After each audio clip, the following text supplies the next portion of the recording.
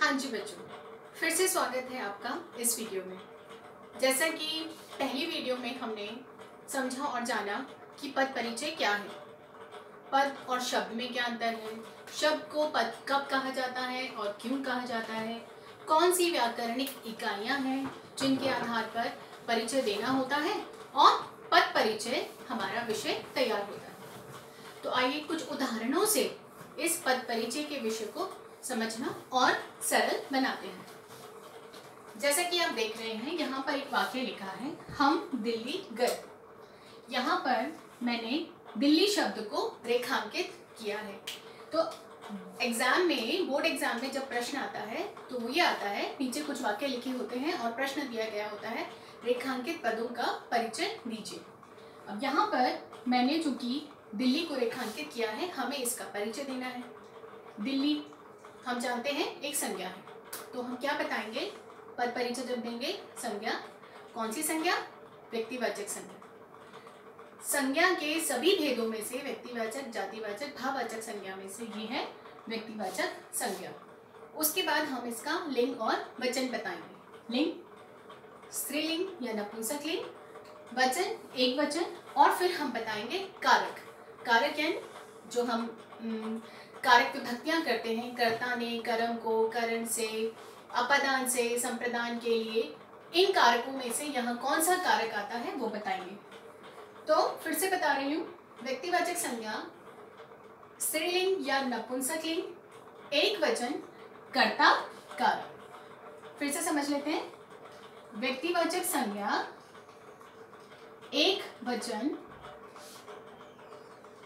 नपुंसक लिंग और कर्ता कारक।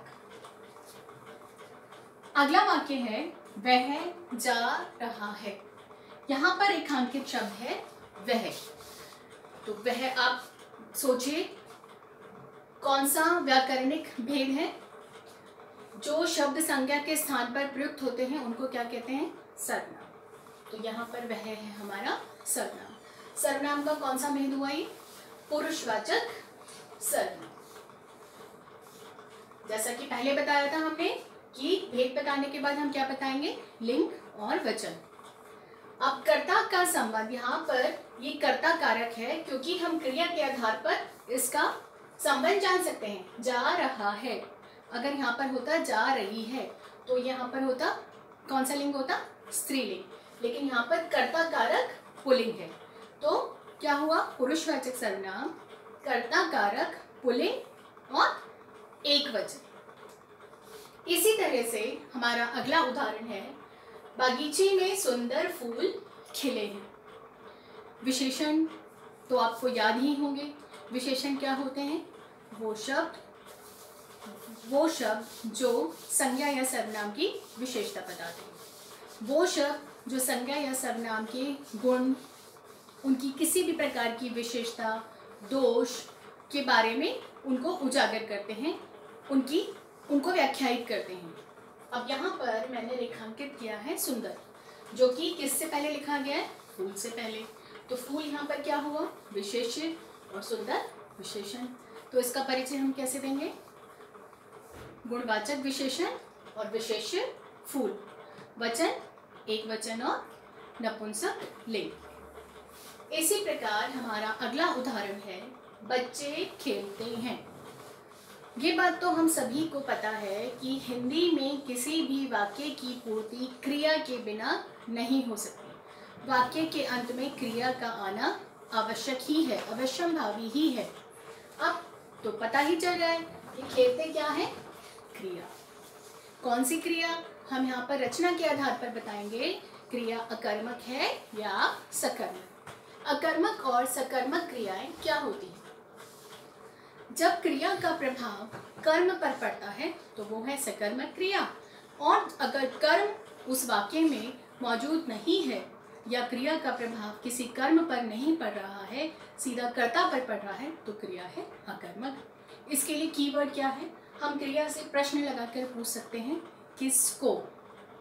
बच्चे खेलते हैं। बच्चे किसको खेलते हैं? हमें कोई प्रश्न का उत्तर नहीं मिल रहा। तो यहाँ पर हमारे पास है अकर्मक क्रिया। वचन बताएँगे, खेलते हैं। बहुत तो बहुत सारे बच्चे हैं, इसका मतलब बहुवचन। और क्या बताएँगे? लिंग। लिंग इसमें कुछ भी हो सकता है, पुलिंग हो सकता है और स्त्रीलिंग हो सकता है। और इसके अलावा हम क्रिया में क्या बताएँगे? काल। काल कौन सा है? वर्तमान काल। आशा करती हूँ आपको इतना समझ आ रहा होगा। हमारा अगला वाक्य है, राम ने रावण को मारा।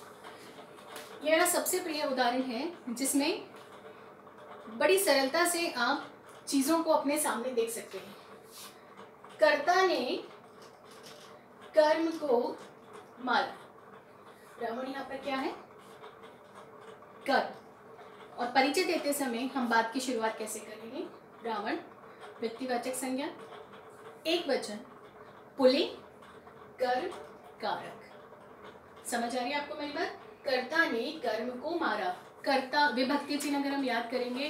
कर्ता ने कर्म को करण से, अपदान से, संप्रदान के लिए तो यहाँ पर कर्ता ने कर्म को मारा।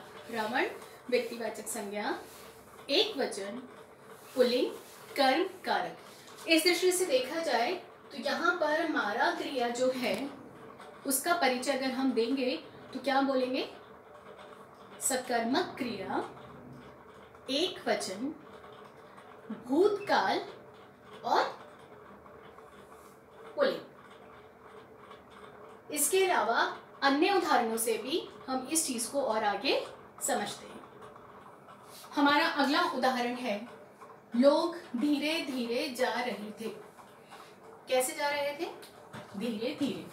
रेखांकित पद क्या है? धीरे धीरे। अब मैंने आपसे प्रश्न भी किया, कैसे जा रहे थे? धीरे धीरे। तो इस बात का हमें अंदाज़ा है, इस बात को हम जानते हैं कि जो शब्द क्रिया की विशेषता बताते हैं, वो क्या खिलाते हैं? क्रिया विशेषण। तो स्वाभाविक है, यहाँ पर ये पद, इसका परिचय क्या है? क्रिया विशेषण। जब क्रिया विशेषण का परिचय देते हैं तो हम उसका भेद बताते हैं और ये बताते हैं वो किस क्रिया की विशेषता बता रहा था। क्रिया विशेषण के भेद, रीतिवाचक क्रिया विशेषण, स्थानवाचक क्रिया विशेषण, परिमाणवाचक क्रिया विशेषण और कालवाचक क्रिया विशेषण। यहाँ पर धीरे धीरे हमारा है, जैसे आप कैसे जा रहे थे धीरे धीरे जा रहे थे, यानी रीतिवाचक क्रिया विशेषण। तो परिचय कैसे देंगे? रीतिवाचक क्रिया विशेषण और जा रहे थे क्रिया की विशेषता बता रहा है। अगला उदाहरण है वाह, क्या गोल दागा है? वाह, और अंडरलाइन यानी रेखांकित क्या है? वाह वाह यानी जिसको आप इंग्लिश में बोलते हैं इंटरजेक्शन और हिंदी में हम इसको बोलते हैं विस्मय आदि बोधक। और ये आपको दिख भी रहा है यहाँ पर, ये विस्मय आदि बोधक चिन्ह भी है। तो इसका परिचय कैसे देंगे? विस्मय आदि बोधक अव्यय। जैसे मैंने आपको पहले भी बताया कि ये सभी क्या है? क्रिया विशेषण समुच्चय बोधक, संबंध बोधक विस्मय आदि बोधक, निपात क्या है? अव्यय। यहाँ पर ये होगा विस्मयादि बोधक अव्यय, और किस भाव की अभिव्यक्ति कर रहा है? प्रशंसा सूचक। अगला वाक्य है, आजकल पैसे के बिना कोई नहीं पूछता। के बिना। संबंध बोधक अव्यय। संबंध यानी जो वाक्य के सभी पदों का आपस में संबंध जोड़ते हैं, संबंध बोधक कहलाते हैं। तो ये हमारा है संबंध बोधक अव्यय। और वाक्य आजकल पैसे प्लस कोई नहीं पूछता। इन पदों का आपस में संबंध जोड़ रहा है। अगला वाक्य है, कुछ तो लाओ। तो यानी निपात। निपात क्या होते हैं? बल देने वाले कुछ पद, जो कि अर्थ में एक प्रकार का बलाघात, यानी एक एक दबाव उत्पन्न करते हैं। जैसे इस वाक्य को मैं ऐसे भी लिख सकती हूँ, कुछ लाओ।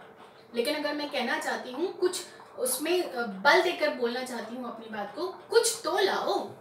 तो यहाँ पर ये हमारा कहलाएगा निपात अव्यय। हमारा अंतिम वाक्य है, मैं सोच रहा था, परंतु नहीं गया। परंतु, फिर से अव्यय है। अब कौन सा है? समुच्चय बोधक कंजक्शंस कंजक्शन यानी समुच्चय बोधक की विशेषता आपको पहले से ही ज्ञात है समुच्चय बोधक पद या शब्द वो होते हैं जो दो वाक्यों को आपस में जोड़ते हैं। और यदि उन समुच्चय बोधक शब्दों को बीच में से हटा दिया जाए तो दोनों वाक्यों का अपना स्वतंत्र अस्तित्व हो सकता है। यहाँ पर परंतु क्या है? समुच्चय बोधक अव्यय। और कौन से दो वाक्यों को जोड़ रहा है? मैं सोच रहा था और नहीं गया। तो बच्चों, आपने देखा जैसे मैंने शुरू में ही बोला था कि पद परिचय क्या है? जब वाक्य में शब्द प्रयुक्त होते हैं तो वो पद का रूप ले लेते हैं और इन पदों का जब व्याकरणिक नियमों के आधार पर परिचय दिया जाता है तो वो पद परिचय कहलाता है।